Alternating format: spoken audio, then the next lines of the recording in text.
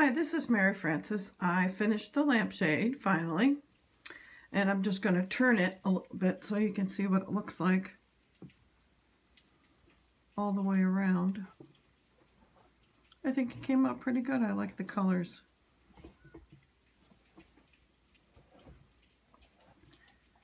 The blues and the, the, the maroons came out really nice. I'm really pleased with it. So there you have it. And I'm going to send you back to my website and my email. Thanks, Mom and Dad, for your support.